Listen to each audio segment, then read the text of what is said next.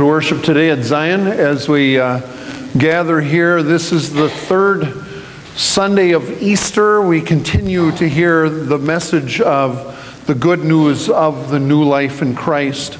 Um, we, uh, we also hold that word closely to our hearts when we know that our loved ones leave this life, and our, um, our hearts go out to Darlene Olson and, uh, and Doug and Darla and family. Um, Don Olson passed away this last week. It was on Thursday, and uh, his the visitation for Don will be held here at Zion this afternoon from 4:30 to 7 in the fellowship hall. And uh, Don's funeral will be held here tomorrow morning at 11 o'clock. So uh, we remember Don. We keep uh, his family in our prayers uh, and, uh, and the blessings of the new life.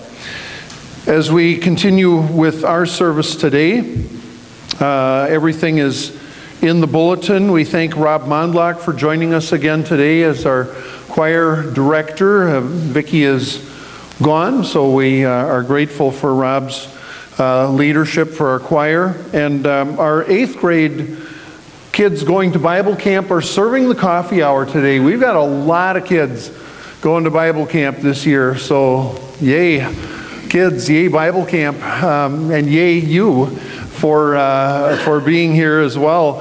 Um, the, the donation at the coffee hour helps them uh, with their, uh, their trip to Bible camp this summer. So, uh, we, we are grateful for that. We continue our worship now as we sing hymn number 383 Christ is risen. Shout Hosanna. 383.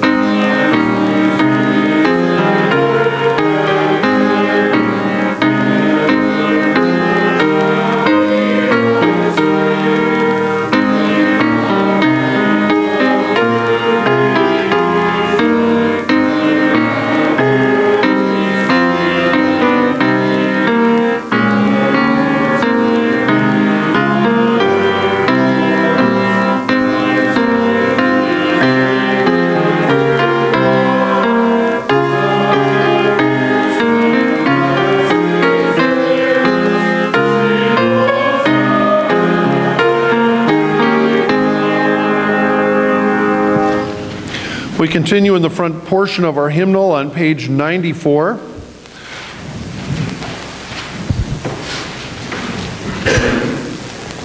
We come together to confess our sin and also to receive the Lord's gift of forgiveness. Blessed be the Holy Trinity, one God who forgives all our sin, whose mercy endures forever. Amen. Almighty God, to whom all hearts are open, all desires known, and from whom no secrets are hid, cleanse the thoughts of our hearts by the inspiration of your Holy Spirit, that we may perfectly love you and worthily magnify your holy name through Jesus Christ our Lord. Amen. Let us confess our sin in the presence of God and of one another.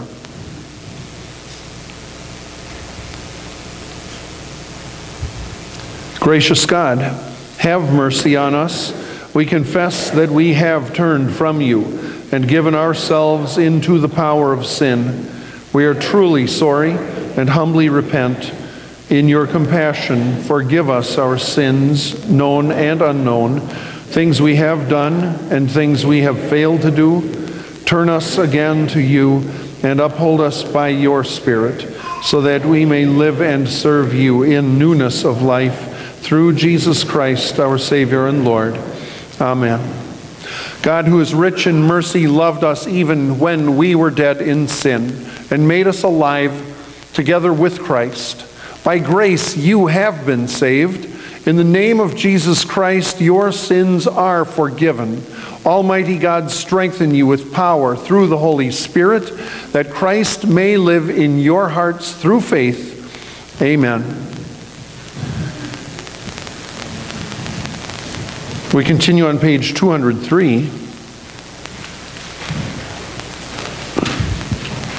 The grace of our Lord Jesus Christ, the love of God, and the communion of the Holy Spirit be with you all.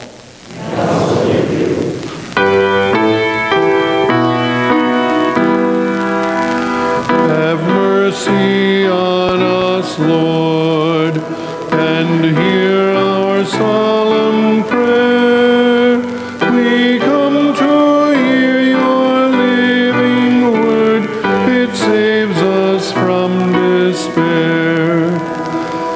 Have mercy on us, Christ,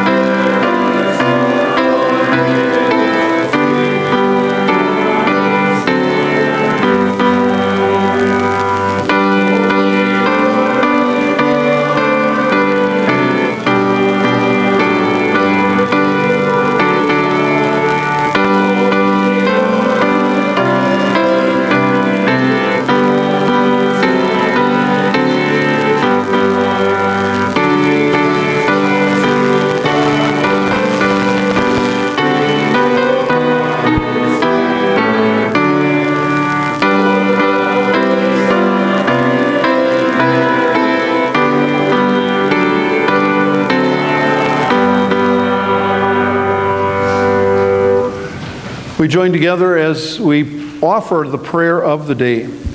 Let us pray. O eternal and all merciful God, with all the angels and all the saints, we laud your majesty and might. By the resurrection of your Son, show yourself to us and inspire us to follow Jesus Christ, our Savior and Lord, who lives and reigns with you and the Holy Spirit, one God, now and forever. Amen.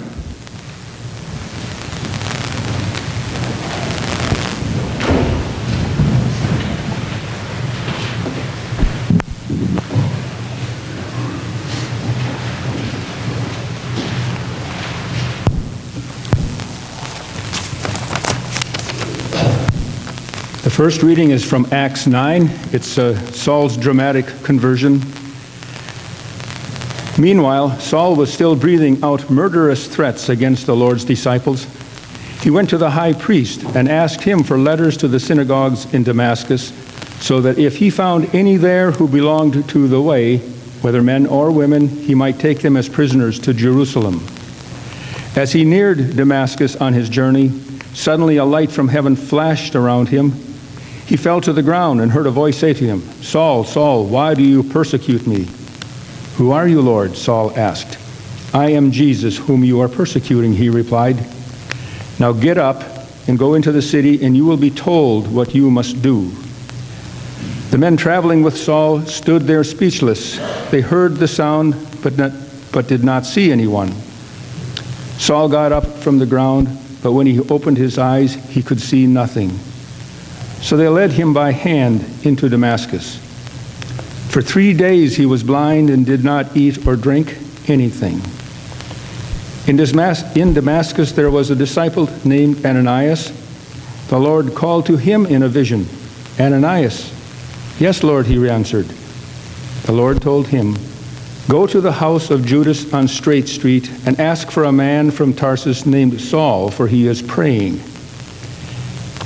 In a vision, he has seen a man named Ananias come and place his hands on him to restore his sight. Lord, Ananias answered, I have heard many reports about this man and all the harm he has done to your people in Jerusalem. And he has come here with authority from the chief priest to arrest all who call on your name. But the Lord said to Ananias, Go. This man is my chosen instrument to proclaim my name to the Gentiles and their kings and to the people of Israel. I will show him how much he must suffer for my name. Then Ananias went to the house and entered it. Placing his hands on Saul, he said, Brother Saul, the Lord, Jesus, who appeared to you on the road as you were coming here, has sent me so that you may see again and be filled with the Holy Spirit. Immediately, something like scales fell from Saul's eyes, and he could see again. He got up, was baptized, and after taking some food, he regained his strength. Saul spent several days with the disciples in Damascus. At once, he began to preach in the synagogues that Jesus is the Son of God. Second reading is from Revelations 5. In verses, in verses prior to these, there's a, mention of the, the lamb, the slaughtered lamb, as in the sacrificial lamb that Jesus was. Then I looked and heard the voice of many angels, numbering thousands upon thousands, and 10,000 times 10,000. They encircled the throne and the living creatures and the elders. In a loud voice, they were saying, Worthy is the Lamb who was slain to receive power and wealth and wisdom and strength and honor and glory and praise. Then I heard every creature in heaven and on earth and under the earth and on the sea and all that is in them saying, To him who sits on the throne and to the Lamb be praise and honor and glory and power forever and ever. The four living creatures said, Amen. And the elders fell down and worshiped. Here ends the readings.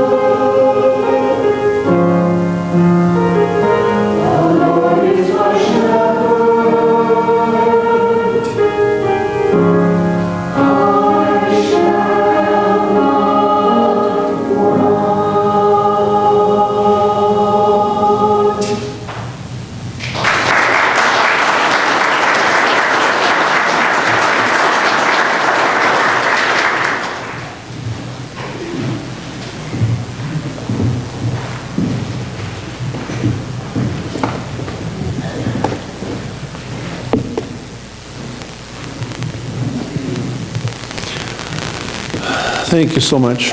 What a beautiful, beautiful song. I shall not want. I shall not lack. I shall have everything that is needed. Everything. Let's take a moment to pray. Gracious God, you promise us so many great things. And there are times that we don't see that, and there are times that we think we can do better. And so we ask that you would help us to humbly open our hearts to you and to your word, and that, that we would find that you would show us the way, and that our spirits would be willing to follow where you lead the way. We are here in your name, Jesus. Amen. So we, uh, in the in the reading from Acts today, we meet Saul of Tarsus. Saul was the kind of guy you wanted to be in charge because if he said he was going to get something done, it would get done, even the tough stuff. Saul would step in, ask no questions, roll over the slackers, and get it done. Saul had a hard edge. He knew right from wrong better than anyone else. he knew right from wrong, and if he said you were wrong, you'd just better agree with him. If you disagreed with Saul, he would take you down. Well, not that so much, really. If you disagreed with Saul, he would kill you. Saul was not a mafia hitman, but a defender of the faith. Now, we sometimes think that people of faith should be loving and kind, don't we? well, that was not Saul's style until, until he met Jesus. And then everything changed. Today we heard the account of Saul's conversion. As Telford said, this is an amazing account. This is, this is a dramatic account. The light, the sound, the voice of God saying, Saul, Saul, why are you persecuting me? Persecuting God? really? What do you get when you try to kill God? Seems like a serious offense, right? Trying to kill God, persecuting God. This is the story of Saul of Tarsus and God's response to this dreaded man. So, as we read these words, we might want to think about three things. What can we learn about Saul? What can we learn about God? And what can we learn about ourselves? We get quite a picture of Saul. He tells his own story in the book of Acts. Other places throughout the New Testament, uh, he, he wrote most of the books of the New Testament. So he tells his, the story of his life, how he sought to persecute Christians. He killed or had Christians killed because they believed differently than he believed. You might call that intolerance. We see some of that in our world today, killing people for lack of same belief. And as I think of this horrible man, Saul of Tarsus, it makes me wonder what do we do with people who intentionally seek to kill Christians? What do we do with people like that? Well, that question, that particular question, is not answered in today's Bible readings, but we are told what God would do with people like that. We are told what God would do with the killer, the persecutor, the person like Saul. God, it seems, would provide a way to rebirth.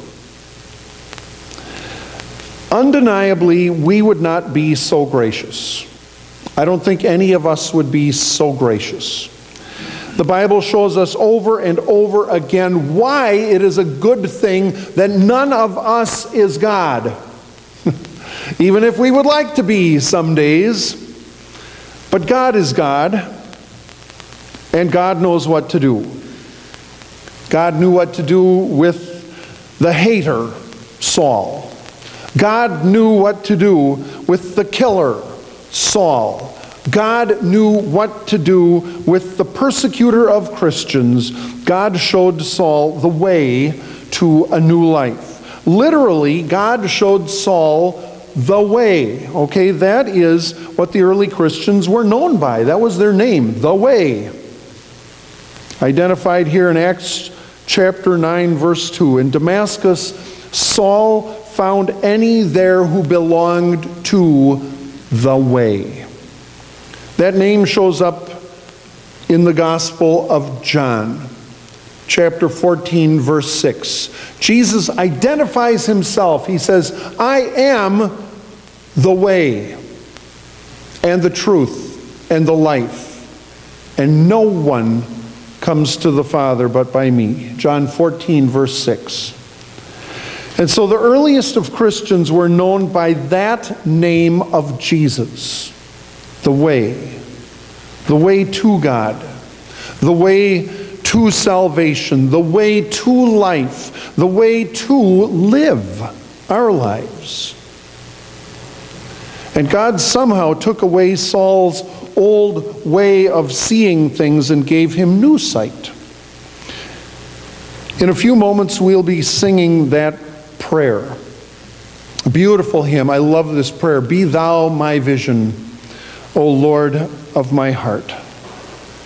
God led Saul to a man named Ananias. Ananias was afraid of Saul like everybody else was afraid of Saul. But God sent Saul to meet Ananias, we are told in Acts 9, verse 11. And there we are told that God chose Saul. I would guess that if you or I were God, and we all remember that neither you nor I are God, but if we were, we would not have chosen Saul or anyone like him. We would have probably come up with a much better alternative, a more pious person, or actually probably a much less pious person, because Saul claimed to be the most pious person in the world. we definitely would want, not want someone as religious as him to be in charge of the gospel of Jesus Christ. Ananias would not have chosen Saul either. He, he basically said to Jesus, Do you know who this guy is? And even Saul would not have chosen himself to be a witness to the way of Jesus Christ. But God seems to do things in a very, very different way than anyone would ever expect. Doing the unforeseen, God sought out Saul, this horrible killer, but God did not seek revenge. God did not ask his people to seek revenge either, to get rid of this horrible guy so that we could do our church thing in our own particular way. God gave Saul what is called the way. God did not kill Saul, even though Saul had killed or was responsible for killing numerous Christians. God did not seek revenge, but God did want Saul's life. And Saul, having met the powerful grace of God, let go and gave his life to Jesus. The song that, the hymn that we sang at the beginning of this service, I don't think I've ever sung it before. You know how, how reticent we are to try new things? I, would, I would not have chosen that hymn either. Um, but thanks to someone who does choose hymns that we got to try something new today. There's a line in that song, Christ is risen, shout Hosanna, that, that kind of stops me in its, my tracks. See what love can do and dare. see what love can do and dare.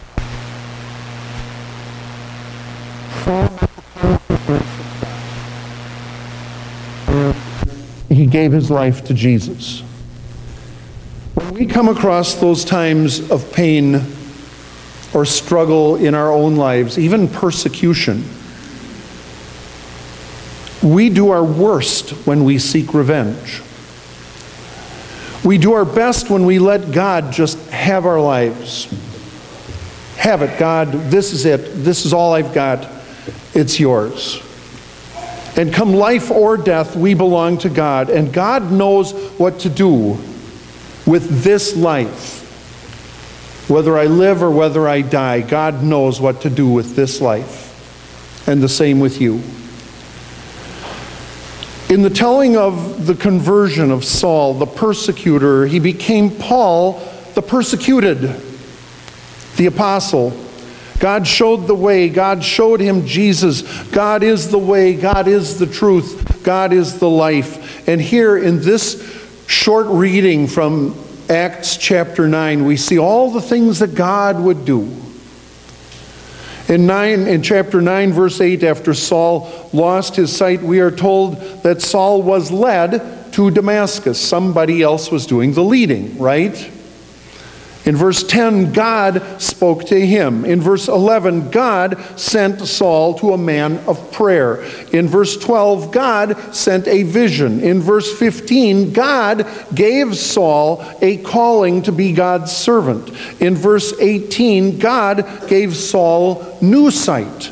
In verse 19, God gave Saul strength and fellowship. In verse 20, God gave Saul a voice with good news. And later in Acts 13, verse 9, God even gave Saul a new name. Paul, apostle to the Gentiles. As we read this, we find that God did absolutely everything. God gave it all even for this despicable Saul. And today, God is giving us His grace and new life and hope, and God gives us Jesus Christ, the way. And nothing can change that. Not life, not death, nothing can change what God has done for us.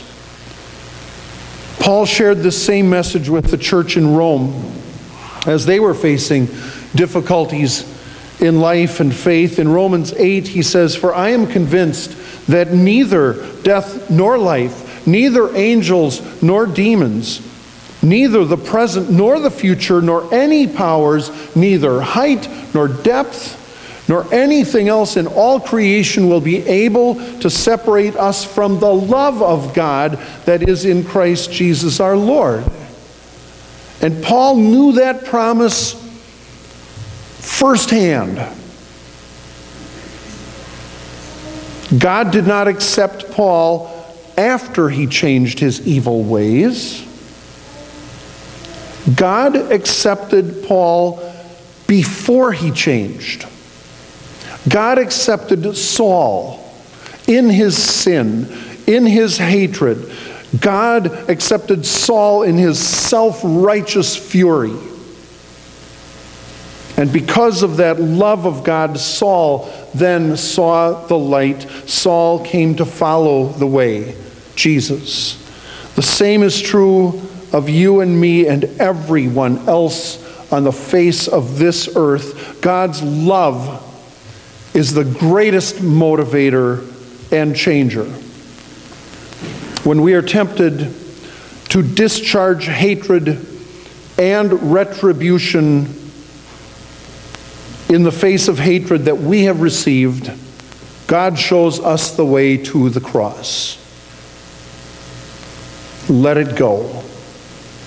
And it is in dying to our own will and ways that we receive new life and in dying, God's word shows us the power of the new life in Christ. It is completely contrary to our way of seeing life. But God's way is Jesus, and we have come through the horrors of Holy Week and through the light of the Easter resurrection. Let us carry that same light of Christ and new life with us into this world, and the love of God guaranteed. The love of God will change hearts. God's word is true. God's word is Jesus Christ. And God's word is the way. Amen. We continue our worship now with hymn number 793. It is a prayer, Be Thou My Vision.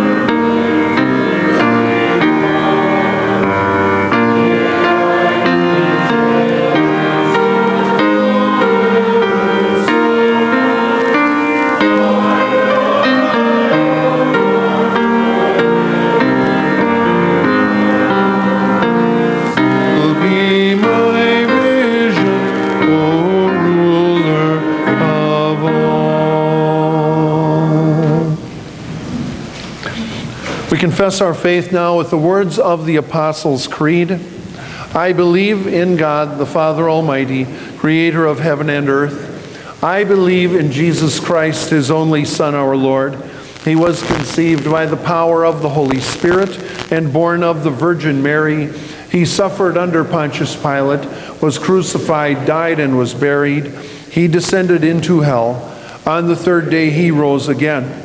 He ascended into heaven and is seated at the right hand of the Father. He will come again to judge the living and the dead. I believe in the Holy Spirit, the Holy Catholic Church, the communion of saints, the forgiveness of sins, the resurrection of the body, and the life everlasting. Amen. We take a moment as we share our gifts and offerings.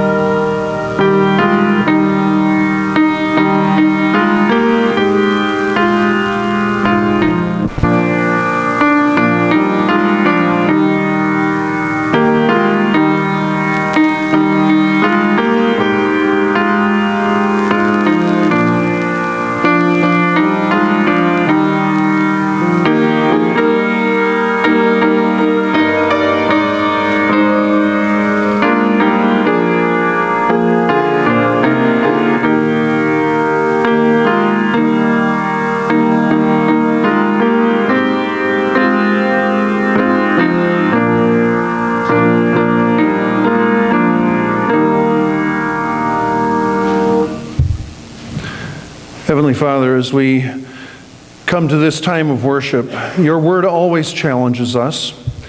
Your word always offers us a new life. There are times that we are pretty much satisfied with the old life we've already got. But you show us a new way. And when it is difficult for us to understand, we pray that your Spirit would open our hearts and our minds to your grace and your love. Help us to dare to live in that love, as the hymn proclaimed. Help us to see that you are our way of seeing the world. And as we look at this world through the eyes of Christ, we see first the cross and then we see the new life.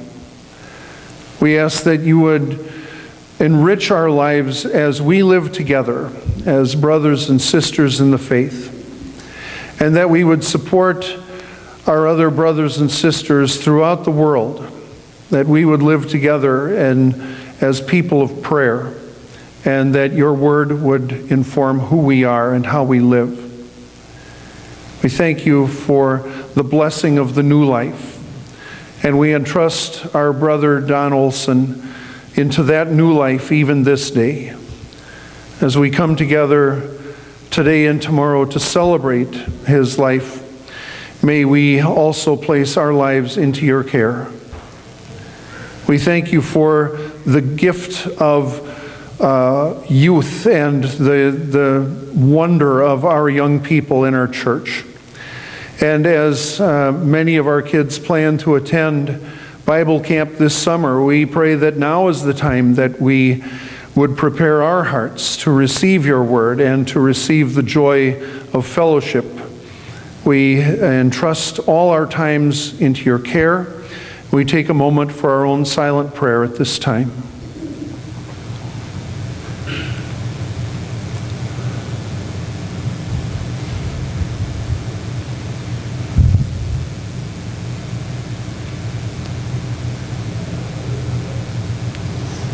And we offer the prayer that our Lord taught us Our Father, who art in heaven, hallowed be thy name. Thy kingdom come, thy will be done, on earth as it is in heaven. Give us this day our daily bread, and forgive us our trespasses, as we forgive those who trespass against us. And lead us not into temptation, but deliver us from evil. For thine is the kingdom, and the power, and the glory, forever and ever. Amen.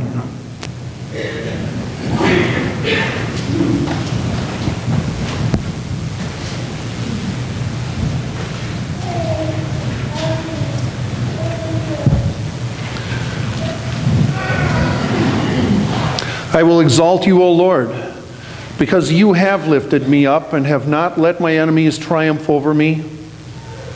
O Lord my God, I cried out to you, and you restored me to health. You brought me up, O Lord, from the dead. You restored my life as I was going down to the grave.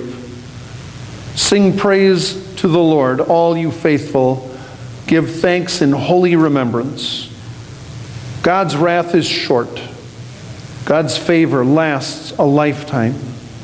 Weeping spends the night, but joy comes in the morning. While I felt secure, I said, I shall never be disturbed. You, Lord, with your favor, made me as strong as the mountains. Then you hid your face, and I was filled with fear. I cried to you, O Lord. I pleaded with my Lord, saying, What profit is there in my blood if I go down to the pit? Will the dust praise you or declare your faithfulness? Hear, O Lord, and have mercy upon me. O Lord, be my helper. You have turned my wailing into dancing. You have put off my sackcloth and clothed me with joy. Therefore, my heart sings to you without ceasing. O Lord my God, I will give you thanks forever. Amen. Would you please stand as we receive the blessing? The Lord bless you and keep you. The Lord make his face to shine on you with grace and mercy. The Lord look upon you with favor and give you his peace. In the name of the Father, and of the Son, and of the Holy Spirit, amen. We go in peace now to serve the Lord. Thanks be to God. Our final hymn, number 545 Lord, dismiss us with your blessing.